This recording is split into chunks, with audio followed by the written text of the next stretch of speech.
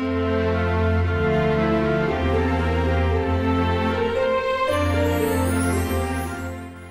everyone, it's Tracy here, back with my second to last holiday card series for 2014. I am using two stamp sets from the Alleyway Stamps. It's Be Unique and Be Happy. So I'm starting with the little one. I'm using the hexagon shape and I'm going to create my own background. I have the Simon Says Stamp Green Apple ink and I am just going to stamp this um, kind of in like the honeycomb shape running from the lower right hand corner to the upper left hand corner. I should mention that I should have looked at my inks a little bit closer before doing this because I didn't want it to be like this lime green. I was just looking at the cover of the ink and it was a lot darker than the ink actually stamps. But I kind of like it because it's a little bit different. It's not like a traditional green Christmas color but I would have chosen a darker color such as the Hero Arts Green Hills or Fields of Green ink um, before I chose this one. But I didn't want to redo it um, just for that sake. Alright, so then I am using the Hero Arts Red Royal ink and I have the outline of the hexagon and I'm only stamping this on a few of the green hexagons. And I don't really want them to line up per perfectly. I want it to be a little bit off, um, like not off center, but like not exactly lining up with the um, previously stamped hexagon. It just gives it a little bit of a different look and it also makes it easier on yourself to not have to um, like be worried that it's not perfect. So like I said, I'm only doing a few of those. And then once I finish that, I can move on to my bee image.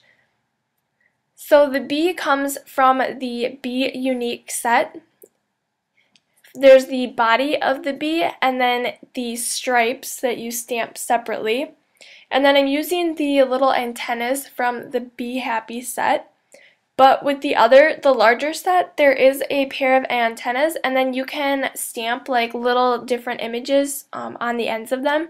So that's really cool too. Um, but I am just going to use the plain ones on this um, bee. So I'll stamp that on my Core'dinations cardstock and I'm using Memento Tuxedo Black ink.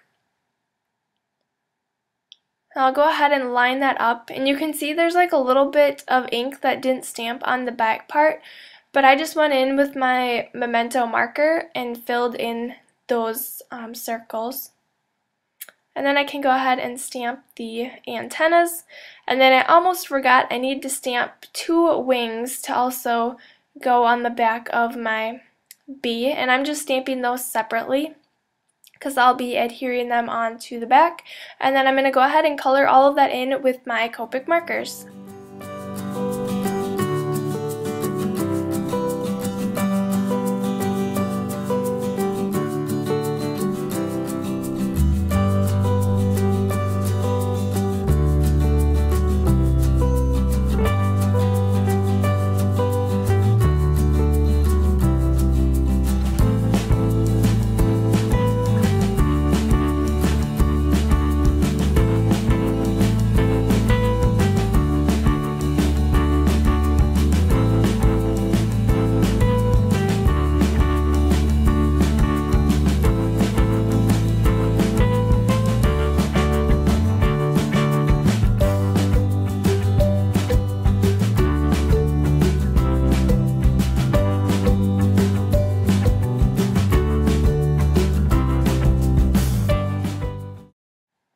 Alright, so I went ahead and fussy cut all of that out after I finished coloring. I'm just adding a little bit of adhesive to the bottom of the wings and then I'll place my bee right on top of those and then it'll adhere them to the back of that. Alright, now we can go ahead and assemble the rest of the card. I'm using a piece of pattern paper that's from the Recollections Jolly Holiday 6x6 paper pad. And that's going to go on the far right hand side of my card base. and this is a regular A2 size card. And then I can adhere the honeycomb piece that I stamped earlier.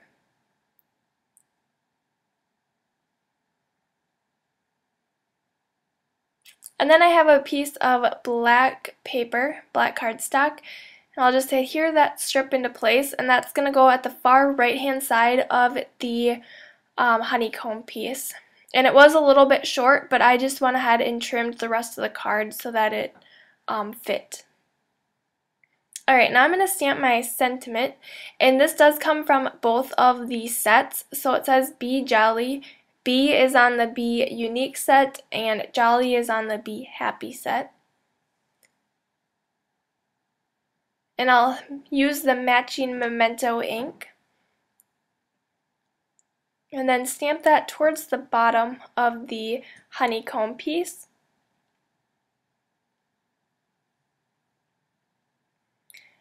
I'm going to adhere the Be onto the card with some 3D foam squares from Best Creation. These are the large ones.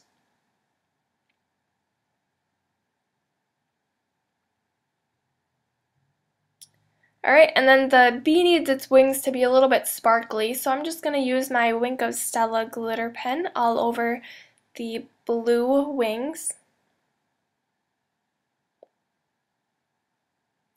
And then my last step, I'm going to add some sequins.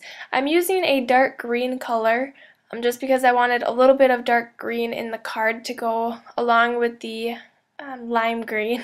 that was my honeycomb. So I'll adhere those into place with my Tombow Mono Multi Glue. And then in the middle, I'm also going to use my Viva Decor Silver Pearl Pen and just add a little bit of the silver pearls right in the middle of each sequin. And then that is my finished card for today. Thank you so much for watching. Give this video a thumbs up if you enjoyed it and subscribe to my channel and I will see you back here next time. Bye!